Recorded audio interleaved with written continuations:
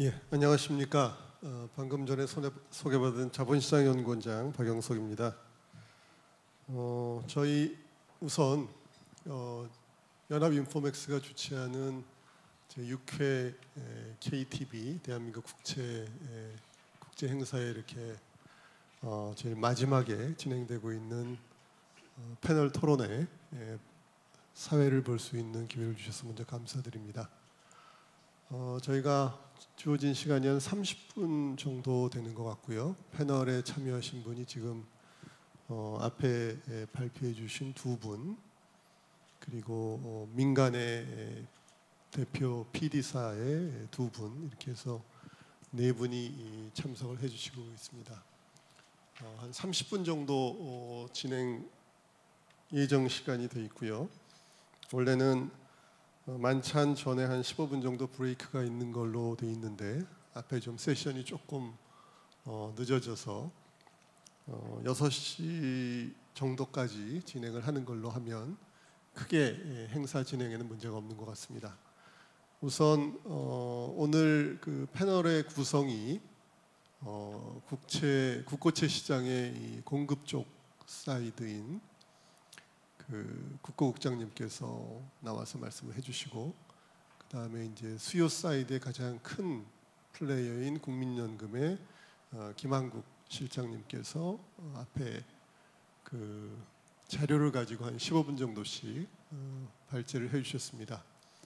어, 뭐 그 공식적인 그 위치에 계시는 어, 분 입장에서 이렇게 public한 행사장에서 이제 발제를 해주시다 보니까 그 공식적인 데이터와 제도 위주로 설명을 해주셨습니다만은 어, 조금 더 어, 깊이 있는 말씀들을 해주실 수 있는 시간이 앞으로 남아 있을 걸로 기대를 하고 있습니다. 그래서 먼저 그 발제에 참여하진 못하신 두 분께 한 5분 정도 어, 시간을 각각 드리도록 하겠습니다. 그래서 두 분이 각자 아, 시장에서의 앞에 그 두 분 발표하신 내용에 대한 뭐 의견이라든가 시장에서의 그 국고채 시장에 관한 음, 뭐 비유라든가 뭐 내년에 예상되는 어떤 시장의 이슈들이라든가 이런 것들 자유롭게 어, 말씀하시고 싶은 내용들을 한 5분 정도 시간을 드릴 테니까 먼저 어, 오종현 전무님께서 말씀을 해주시겠습니까?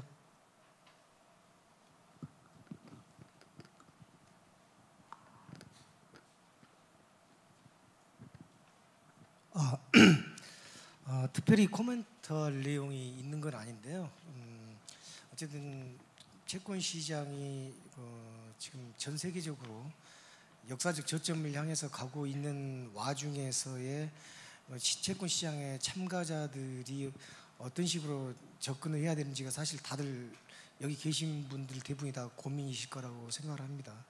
물론 뭐 비공식적인 이야기에 의하면 한국은행조차도 내부에서 일부는 결국은 시간의 문제이지 뭐 선진국 주요 금리와 비슷한 수준으로 가지 않겠냐라고 대부분 이야기를 하고 있는 것으로 알고 있어요. 근데 지금 우리가 지금 그 그동안 금리를 쳐다봤던 과거의 경험들이 각종 지표라든가 이런 것들에 의해서 이제 시장을 쳐다보다가 어 지금은 아시겠지만 뭐 무역 전쟁이라든가 각종 이런 패권 관련된 부분에 의해서 경제가 많이 전염되고 있는 상황이기 때문에 뭐 이번에도 10월 12일 뭐 내일 모레에 미중 무역 전쟁이 뭐 블록딜이냐 스몰딜이냐 뭐 이런 경제하고 약간 다른 부분들에 의해서 실질적으로 채권이든 주식이든 모든 자산들이 영향을 많이 미친다고 보기 때문에 어, 예측하기가 너무 힘든 상황이 되는 것 같아요. 과거에는 과거 역사를 기준으로 해서 어, 아, 과거에 그랬으니까 또 이게 반복될 거라는 식으로 시장이 받아들이는데 익숙하다면 지금은 과거가 이랬으니까 지금도 이럴 거라고 말하기에는 다소 힘들어지는 국면이 되기 때문에 예측이 점점 힘들어지는 것 같아요. 그래서 어쨌든 어, 채권 참가자들은 금리가 오르든 내리든 너무나 저금리인 상황 그리고 커브가 너무 누워 있는 상황 자체가 굉장히 고통스러운 일입니다.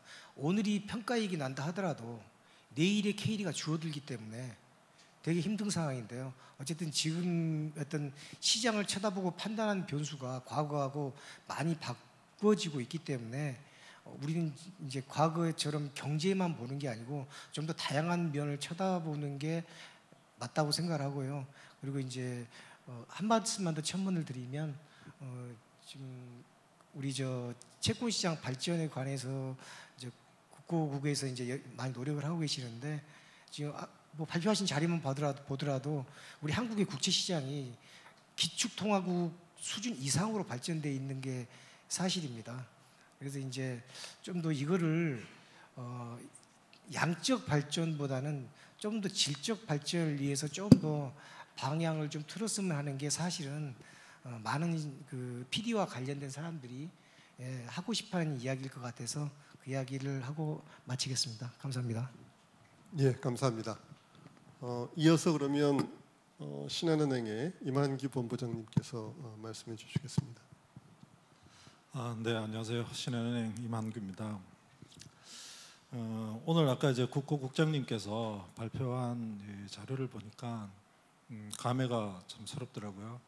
처음에 이제 그 국채를 우리나라 국채를 누가 인수해 줄까를 걱정하면서 이제 시장에 참고했던 저로서는 지금 보면 어, 오정현 전무님 말씀하신 것처럼 어, 정말 그 전 세계에서 국제 시장만 따지고 보면 아 어, 대한민국 같은 뭐 아주 큰 나라도 아닌데 어떻게 이렇게 호가계 거래량 뭐 그리고 그 인수 경쟁률 뭐 이런 부분들 다 아, 어떻게 이렇게 이제 발전됐을까 사실은 아, 더 이상 발전하기 어려울 정도로 발전되어 있는 거 아닌가 하는 생각이 있습니다. 물론 이런 부분에서 어, 뭐 기재 어, 기재부와 또 시장의 많은 PD 분들 그리고 이제 우리나라 자산 시장이 성장하면서 end investor들이 계속 그 이 시장에서 적극적으로 참여하고 제도 개선을 요구한 어, 그런 결과라고 생각을 합니다.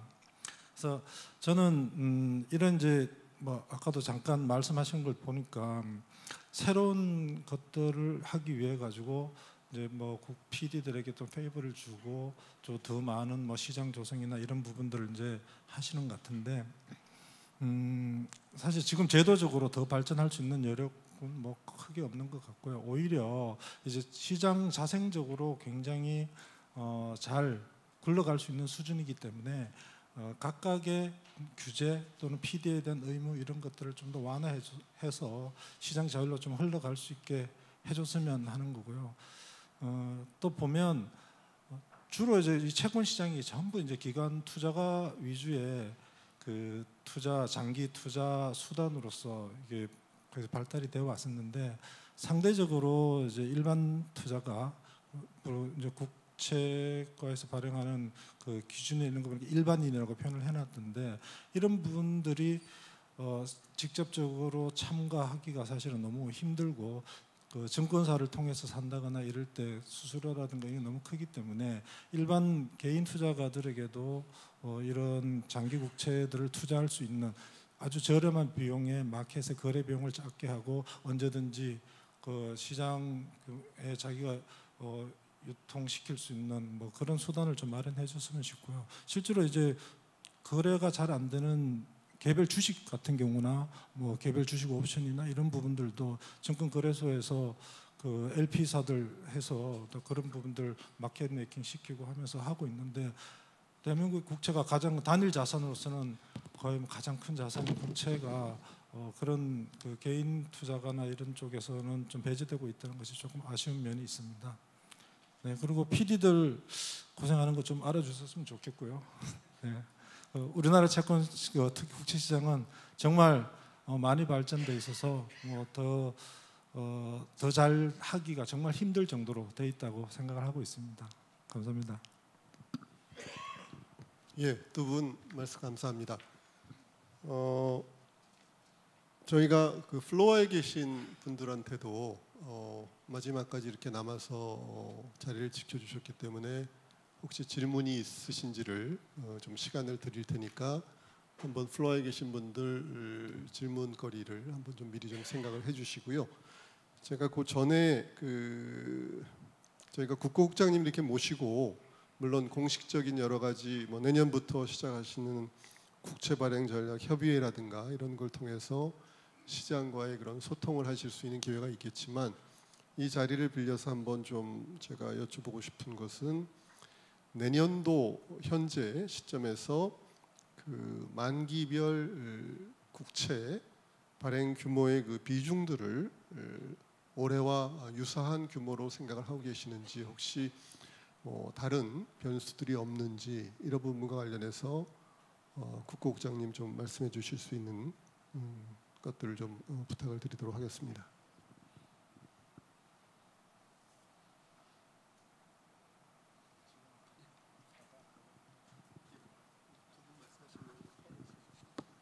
예, 감사합니다. 어, 오 전무님 두 분 말씀하신 거 제가 간단히 말, 어, 코멘트 드리고 그 다음에 사회자 질문에 대해서 답변 드리도록 하겠습니다. 오 전무님 말씀하신 그 양적 발전을 넘어서 어, 질적 발전으로 도약하도록 그렇게 좀 제도 개선 방향을 잡아야 되는 거 아니냐 하는 지적에 대해서는 어, 저도 공감하고요. 근데 제 생각은 양적 발전도 좀 더 해야 되지 않느냐 하는 그런 욕심이 있습니다. 어, 아시- 아까 말씀드렸다시피 어, 지금 어려운 여건 속에서 사실은 지금까지 한국 국제시장이 발전한 게 여러 가지 기관 투자자분들하고 어, PD 여러분들께서 노력해 주신 덕분이라고 생각하고요. 근데 이제 사실은 저희들 이제 국가 적- 측면에서 이제 국제 시장이 필요로 하는 시점이 더 필요성이 더 강화되고 있다.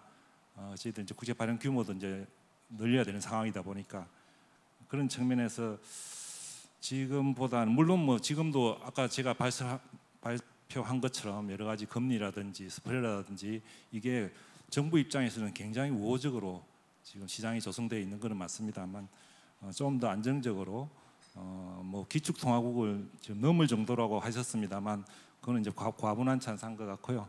어, 저희들 어차피 타겟팅은 그 기축 통화국 정도 되는 국제 시장을 가지는 게 목표이기 때문에 어, 양적도 발전도 조금 더 이제 해야 될 것 같고 말씀 주신 대로 어, 질적인 발전으로 도약할 수 있도록 어, 저희들도 같이 노력할 생각입니다. 그래서 뭐 저희들 정부 혼자 할 수 있는 건 아니니까 여러분께서 많은 좋은 아이디어를 주시고 그렇게 하면 같이 제도를 개선해 나가면 좋을 것 같다는 생각이 듭니다. 어, 그런 측면에서 이제 이만규 실장님께서 말씀하신 그게 많은 그 도움이 되는데요. 음, PD 분들이 좀 의무를 완화해 달라는 거는 저희들이 따로 따로 또 고민을 해보겠습니다. 예, 많이 힘드신 것 같은데. 예. 그리고 이제 어, 이제 기관 투자자 사실은 이제 저희들 기관 투자자 역할 중심으로 지금 여기까지 키워 왔는데 어, 이제 일반 투자자와 이제 다른 분들도 좀 더 수월하게 어, 시장에 접근할 수 있도록 에, 조금 많은 그런 어, 길을 또 열어주고 좀 환경을 조성해야 되는 거 아니냐는 그 지적에 대해서는 어, 저희들도 같은 생각을 가지고 있습니다. 그래서 말씀 주신 대로 뭐 외국 투자뿐만 아니고 개인 투자자도 좀 더 할 수 있던 근데 지금 제도적으로는 많이 됐더라고요. 예를 들어서 뭐 어, 개인 투자자도 물론 이제 PD사를 통해서 해야 되지 접근을 할- 해야 되지만 어, 뭐 10만 원 단위까지도 입찰에 참여할 수 있도록 이렇게 많이 개선이 되어 있는데 조금 더 어, 개인 투자자가 손쉽게 시장에 접근할 수 있는 그런 제도 방안을 고- 어, 고민해 보도록 하겠습니다. 그다음에 내년도 이제 국채 비중에 대해서 이제 말씀을 주셨는데요. 이게 상당히 시장에서는 좀 관심 있는 그런 질문이라고 생각이 됩니다. 에, 먼저 어, 뭐 새로운 변수라 그럴까요? 저희들이 생각하는 그런 여건이라 그럴까 그런 측면에서 이제 말씀드릴 수 있는 게 그 장기물 쪽은 아시다시피 시장에서 어, 뭐 초과 수요가 있다 그럴까요? 여러 가지 이제 어, 많은 수요가 있기 때문 있다는 거 그게 이제 하나의 어, 저희들 차관 사항이고 그리고 이제 중기물은 아시다시피 저희들 지표 채권이기 때문에 10년물에 대해서는 저희들이 항상 안정적이고 적정 수준의 공급 물량을 유지해야만 어, 지표물로서 어, 기능을 할 수 있기 때문에 저희들 충분한 유동성이 공급되도록 해야 된다는 그런 저희 포인트가 있고요. 마지막으로 이제 단기물과 관련해서는 최근에 이제 이슈가 되고 있는 게 이제 안심 전환 대출과 관련해서 이제 MBS 발행하는 것도 있고 지금 현재 20조입니다. 뭐 음, 금융에서는 이제 확대 안 하겠다고 그렇게 발표를 했죠. 근데 20조지만 그것도 상당한 물량이고 그리고 또 은행권에서도 여러 가지 이제 거기다 이제 MBS를 이제 의무 보유하게 되면 상대적으로 이제 국채에 대한 수요가 좀 떨어질 거 아니냐 하는 어, 그런 우려도 있는 것 같습니다. 근데 저희들 생각은 이제 MBS 공급은 사실은 금년 하반기와 내년 상반기에 조금 뭐 영향이 있을 수는 있겠지만 그 물량이 제한적이고 시기도 제한적이기 때문에 크게 시장에 영향을 주지 않을 걸로 이제 그렇게 생각을 합니다. 그래서 제가 말씀드리고 싶은 거는 지금 저희들 고려 사항에 이러한 이제 중장 단기 측면에서 여러 가지 고려할 사항이 있습니다만은 지금 현재 저희들이 가지고 있는 단기 40 플러스 마이너스 5, 중기 25 플러스 마이너스 5, 장기 35 플러스 마이너스 5라는 기본 발행 비중을 지금 현재 뭐 변경시키거나 할 그런 정도 상태는 아니라고 보고요. 어, 내년에도 어, 기본 발행 비중은 종전대로 어, 유지를 해 나가면서 필요하다면 어, 물론 이제 급격히 움직이기 때문에 세계 경기나 저희들 국내 경기를 감안해서 금리 동향이라든지 각 연물별 수급 여건 등을 감안해서 저희들이 탄력적으로 이제 물량 비중은 조정해 나갈 그런 생각입니다. 예, 감사합니다. 혹시 김한국 실장님 그 두 분 그 아까 말씀하신 내용과 관련해서 뭐 추가하실 말씀 있으시면 됐습니까? 예. 네, 그럼 혹시 그 플로어에서 이 오늘 이렇게 그 국고 그러니까 국채 시장의 그 발행 쪽, 그 다음에 수요 쪽, 또 민간의 가장 그 투자주로서의 그런 중요한 역할을 하는 그 PD 사 이렇게 네 분이 함께 플로어에 올라와 계시는데 혹시 그 질문 있으시면 어, 손을 들어주시고 간단하게 성함을 말씀해 주시면서 어, 간단한 질문을 요청드리도록 하겠습니다. 혹시 플로어에서 질문 있으십니까? 예. 이쪽 맨 앞에 그 어느 분에 대한 질문인지도 함께 말씀해 주시면 어, 좋겠습니다. 네, 저 이종국 국장님께 질문이 하나 있는데요. 그 아무래도 이제 그 내년도 발행량이 이제 늘어나기 때문에 어떤 PD사라든지 이런 곳에서는 수요 진작에 대한 좀 대책이 있었던 것으로 제가 보이고 있는데 사실 그 한국이 그 글로벌 채권 인덱스에 사실은 들어가는 것에 대해서 사실은 생각을 과거에 안 했던 것은 아닙니다. 하지만 이제 어떤 여러 가지 요인으로 인해서 그런 것들이 이제 미뤄지거나 아니면 사실은 이제 이제 실행이 옮겨지지 않았는데요. 앞으로 이제 말씀하신 것처럼 국회 바, 국고 발행이 중기적으로 증가하는 추세라고 생각을 한다면 한번 이제 글로벌 채권 인덱스의 편입이 국, 국채를 편입하는 것에 대해서 어떻게 좀 고려해 볼 요인이 있는 것이 아닌지 궁금합니다. 말씀해 주시죠. 그, 그러니까 지금 이제 말씀 주신 거는 저희들 지금 현재 블룸버그 인덱스에는 들어 있는데 다른 두 가지 어, 세계 채권 3대 채권 지수에 들어갈 편입될 생각은 없느냐 이제 그런 질문으로 이해를 하겠습니다. 그래서 이게 이제 간단한 문제는 아니고요. 이게 저희들 채권 시장이나 국고채 시장에 굉장히 어, 큰 영향을 미치는 거기 때문에 에, 지금 현재 저희들 생각은 어, 뭐 좀 신중히 결정해야 될 사안이고 현재 내부적으로 이 문제를 검토하고 있지는 않습니다. 그래서 이제 그런데 그 질문 주신 취지는 이해하고요. 이게 어떤 식으로든 저희들 국제 시장을 앞으로 발전시키고 나가는 데서 인덱스와의 관계가 중요하기 때문에 어, 계속 저희들은 이제 어, 우리나라 외환 시장이라든지 금융 시장 이런 걸 종합 감안해서 그거에 대해서 검토는 하겠습니다만 현재는 하여튼 신중한 입장입니다. 예. 예, 저쪽 오른쪽에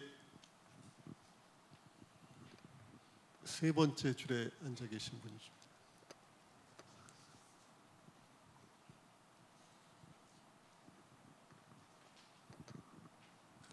예, 안녕하세요. 저 이투데이 김남현입니다. 저희 두 가지 질문 좀 국고국장님께 여쭐까 하는데요.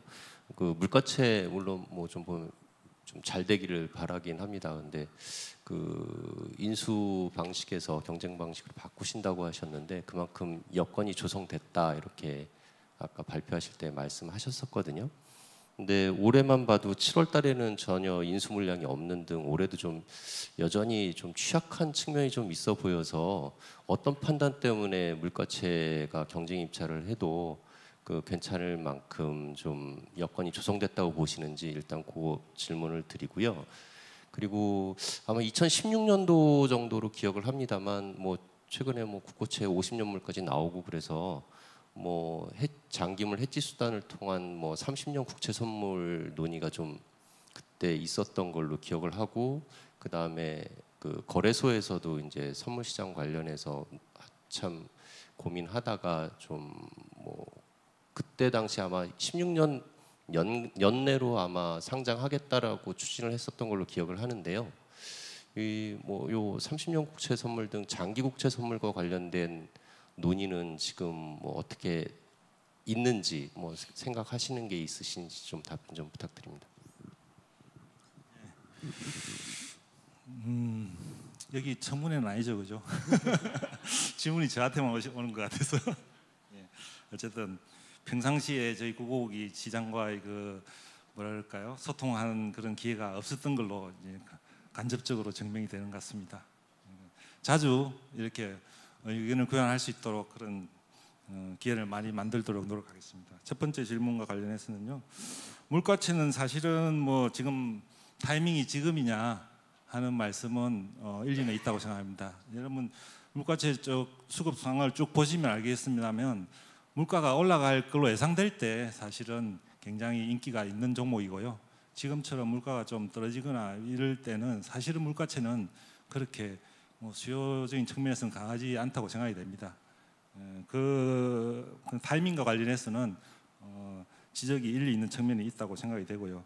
저희들이 이제 옵션에서 경쟁 입찰 방식을 바꾼 이유는 어, 저희들이 옵션을 해보다 보니까 입찰 당시 이제 적정한 시장 가격을 반영하기가 좀 어려운 그런 문제점이 있었습니다. 그리고 저희들이 뭐 천억이라고 뭐 사전에 예정은 합니다만 최종 발행 물량이 또 예측하기 어렵고 어, 그러다 보니까 또 수요 기간인 연기금 등에서도 매입 계획을 수립하기 곤란한 그런 점이 있었습니다. 어, 물론 제가 말씀드린 대로 뭐 충분히 여건이 됐다 이렇게 좀 의욕적으로 말씀을 드렸습니다만 이런 이제 현실적인 문제들 을 감안해서 지금 다시 경쟁인찰 방식으로 한 번 더 출하를 해보려는 그런 시도라고 그렇게 이해해 주시면 되겠습니다. 그다음에 30년 국채 선물은 사실 요거는 이제 우리 국제과정이 답하는 게 좋은 것 같습니다. 제가 무리한 답변으로 시장에 혼란을 주면 안 되기 때문에 그리고 우리 국제과장도 이, 이참에 한번 데뷔하는 차원에서 어, 요거는 어, 국제과장한테 답변을 넘기겠습니다. 예. 네, 이재용 과장님. 예, 예, 국제과장 이재용 과장인데요.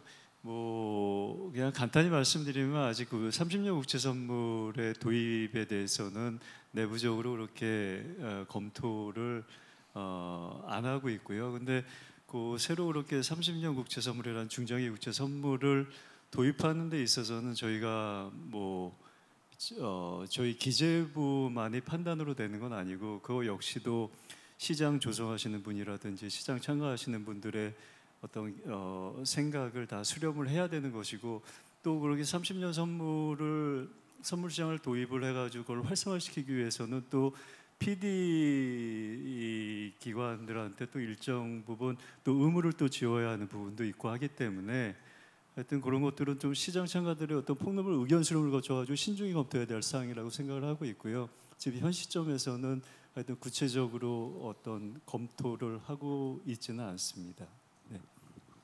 예, 감사합니다. 한 5분 정도 더 시간이 남은 것 같은데요. 뭐 질문이 있으시면 한 분한테 질문을 더 받고 만약 질문이 없으시면 제가 아, 이 패널 네 분한테 그냥 마지막으로 간단한 질문 하나 하고 마치도록 하겠습니다. 혹시 어, 마지막으로 질문하실 분 계십니까? 예, 저 여자분 안녕하세요. 이베스트 투자증권 우혜영이라고 하는데요. 앉아서 말씀드려도 되죠? 그 다름이 아니고 그 한국은행에서는 금리 인하에 대한 시그널을 충분히 주고 있지 않다고 판단을 하고 있는데요. 지금 이제 금리가 금리 레벨이 좀 낮은 수준인데 앞으로 외국인 투자를 어떻게 유치를 할 수 있는지에 대해서 근본적으로 궁금합니다. 어느 분한테 네, 이종욱 감사합니다. 글쎄 금리 금리 문제는 사실은 뭐 상대적인 거잖아요. 그래서 뭐 저희 국내적으로는 역대 최저입니다만 아까 제가 발표에도 있었습니다만 다른 나라 국채에 비교하면 저희 정도 국가 규모와 국가 신용도를 가지고 있는 나라에서 지금 1점 몇, 1.5 이상의 수익률을 하는 거는 외국인 투자자 입장에서 굉장히 매력적인 아직도 매력적인 투자처다 이제 그렇게 생각을 하고 있습니다. 다른 이제 금리 일반적인 다른 상황에 대해서 혹시 여기 다른 패널 분께서 좀 답변해 주시면 좋겠습니다. 예, 혹시 다른 패널 분 지금 질문에 대해서 추가해 주실 내용 있으십니까? 예, 없으시면 제가 마지막으로 네 분한테 에, 공통의 질문을 음, 드리겠습니다. 우선 그 답변해 주실 순서는 어, 오정현 전무님, 이만규 본부장님, 그다음에 김한국 실장님, 그다음에 마지막으로 어, 국장님 이 순서대로 답을 해주시면 좋을 것 같고요. 어, 한국 경제 불확실성이 이, 뭐 굉장히 높은 그런 시점인 것 같습니다. 특히 그 한일 간의 무역 갈등이라는 이슈가 어, 현재 진행형이고요. 그래서 이런 것들이 이제 한국 경제 전체에 미치는 영향을 어떻게 보고 있고 이것이 또 국제 시장에 미치는 영향을 어, 현 시점에서 house view를 좀 한번 어, 들어보고 싶습니다. 그래서 어, 오 전무님부터 한 1분에서 한 2분 정도 말씀해 주시길 부탁드리겠습니다. 어, 지금 한국 경제의 불확실성에 대해서는 사실 한일 무역도 영향을 미치긴 하지만 어쨌든 전체적인 글로벌 경기 자체가 아, 사실 이번에 뭐 독일도 경제 지표가 발표되긴 했지만 미국도 그 초장기 호황을 구가하다가 지금 서서히 지표가 이제 혼재되는 국면을 가고 있고 그래서 뭐 한국이 특별히 더 좋을 것도 없는데 아, 글로벌 경기는 꺾이고 있기 때문에 어쨌든 내년 경기는 어, 올해보다 더 안 좋을 걸로 예상이 됩니다. 다만 어, 내년에 가끔가다 조금 성장률이 상대적으로 높게 쓰는 곳이 있는데 거기는 올해의 베이스 이펙트 때문 외에는 내년 성장률이 2% 이상 나올다고 보는 데는 없는 것 같아요. 그래서 어쨌든 내년에 뭐 극적으로 뭐 반전될 만한 것도 없고 그래서 어 어쨌든 그 우리 입장에서는 어 어차 그 수출 경기 외에는 큰 의미가 없는 국가에서 어 어떤 내수가 어떤 변화할 만한 조짐도 특별히 없기 때문에 내년에도 한국 경제는 올해 이상으로 어려울 거라는 일반적인 전망에 동의를 하는 상황입니다. 이상. 어, 네. 저희는 뭐 계속 우리 한국 경제 불확실성이 커져가고 있고 실질적으로 이제 정부나 그 한국은행에서 보는 것보다가 어, 개선의 기미가 좀더 그 정도가 약해지고 있다. 그리고 실제로 그런 개선들이 어, 질적으로 이제 지표상으로는 좀 더 낮게 나올 수 있고 뭐 베이스 이펙트나 이런 것이 나올 수 있지만 질적으로는 어, 크게 좋아지고 있지 않고 그것이 어, 턴하는 데는 좀 더 그 걸릴 것으로 보고 있습니다. 그리고 이제 그런 측면에서 본다면 어, 뭐 국채 시장, 국채 시장뿐만 아니라 우리나라 채권 시장 전체가 어, 하, 지금 뭐 지금 굉장히 낮은 금리 수준이긴 하지만 크게 금리가 오를 수 있는 가능성은 뭐 높지는 않다고 판단을 하고 있고요. 그렇지만 뭐 아까 그 여러분 말씀하신 데 수급에 큰 문제가 없다고 말씀하시는데 저는 조금 좀 시각이 좀 다른데 음.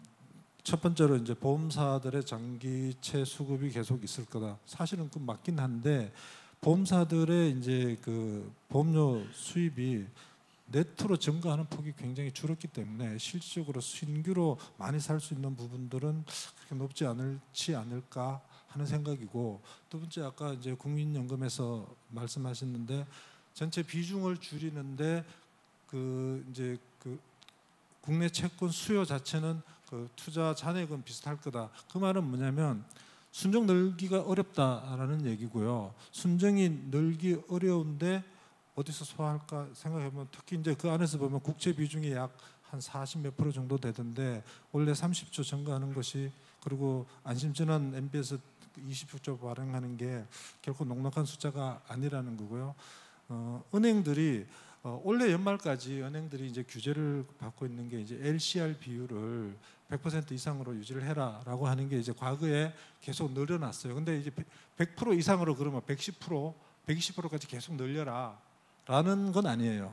이제부터 사실 그래서 순수하게 이제 그 LCR 규제 때문에 저희가 은행에서 사야 되는 네트로 많이 사야 되는 부분들은 올해로 거의 끝나는 것 같고요. 대신에 어, 은행 자산이 증가할수록 그 자산에 대해서 우리가 비율을 유지하기 위해서 유동 자산 고유, 그 고유동성 채권이라고 얘기하는데 어, 고유동성 채권을 자산이 증가함에 따라서 일정 비율을 사야 되는 것은 사실이지만 어, LCR 비율 때문에 많이 사야 되는 뭐 이런 거는 이제 올해로서 크게 일단락이 좀 된 것 같아서 저희는 좀 수급적으로는 내년에 좀 더 부담이 있지 않을까 뭐 그런 생각은 하고 있습니다. 예, 감사합니다. NPS view를 좀 들려주시죠. 아 예. 아 좋은 질문 주셨는데 제가 이제 저희 제가 여기 나오면서 저희 이제 그 언론 부서에서 담당 그 당부받은 내용이 저희가 내부 compliance 룰 때문에 house view는 물론이고 개인 view도 발표를 하면 안 된다라고 사실은 당부 당부를 받고 나왔습니다. 예, 그래서 뭐 하고 싶은 말은 있지만 죄송합니다. 예, 제 발표는 예. 다음에 제가 사석에서는 모르겠지만 이렇게 공식적으로는 말씀 아 죄송합니다 사석에서 발표하면 안 되는 걸로 예예 수정하겠습니다 예예 예, 예. 좀 양해해 주시면 감사하겠습니다 예. NPS가 compliance가 제일 잘 돼 있는 것 같습니다. 민, 민간 쪽도 compliance가 있을 텐데 그래도 house view를 말씀해 주셨는데 역시 공공 부분이라서 좀 어려우신 자리인 것 같습니다. 그러면 국장님 예, 예. 어, 마지막으로 좀 wrap up을 해주시죠. 네. 어, 말씀하신 대로 지금 뭐 어, 미중 무역 분쟁이라든지 저희들 또 일본의 수출 규제라든지 영국의 노, 노딜 브렉시트 참 해외 쪽에서 오는 리스크가 저희 경제에 굉장히 크게 작용하는 시점입니다. 그래서 저희들은 사실 어떻게 하면 경기를 진작하기 위해서 어, 할수 있는 가능한 모든 이제 정책 수단을 다 동원하기 위해서 노력을 하고 있습니다. 앞서 이제 여러 1세션에서도 어, 여러 가지 지금 이제 금융 정책의 한계를 말씀하시고 적극적인 재정 정책의 필요성도 지적하였습니다만 어, 그래서 저희 정부는 이제 내년도 뭐 예산안 제출했습니다만 어, 확대 재정 정책을 이제 적극 추진하려고 하고 있습니다. 어, 그런 측면에서는 저기 안정적인 이제 국제 시장이 저희들 이제 자금 조달 측면에서 굉장히 중요합니다. 앞서 말씀 주신 것처럼 이제 제가 뭐 수급 문제는 뭐 크지 않을 거라고 이제 말씀하셨는데 이제 전문가 분께서 그렇게 단언하지 마라 아, 이런 지적을 주셨습니다. 그래서 어, 수급 문제에 대해서는 저희들도 조금 더 어, 신경을 쓰면서 어, 하겠습니다. 특히 이제 금리 변동이 굉장히 커질 우려도 내년에 상당히 상존하고 있기 때문에 저희들 시장에 대한 모니터링을 강화하고 시장 수급에 크게 왜곡이 일어나지 않도록 저희들이 적절히 국채 발행 물량도 조정하고 어, 시장과 소통하면서 잘 대처하도록 그렇게 하겠습니다. 예, 감사합니다. 예, 감사합니다. 어, 저희가 주어진 시간이 다 돼서 이제 예, 마무리를 해야 될 것 같습니다. 오늘 그 어, 오후 두 번째 세션 대한민국 채권 시장 발전 방안과 관련된 어, 패널 이 마지막 세션까지 자리를 끝까지 지켜주신 플로어에 계신 분들께 우선 감사 인사를 드리고요.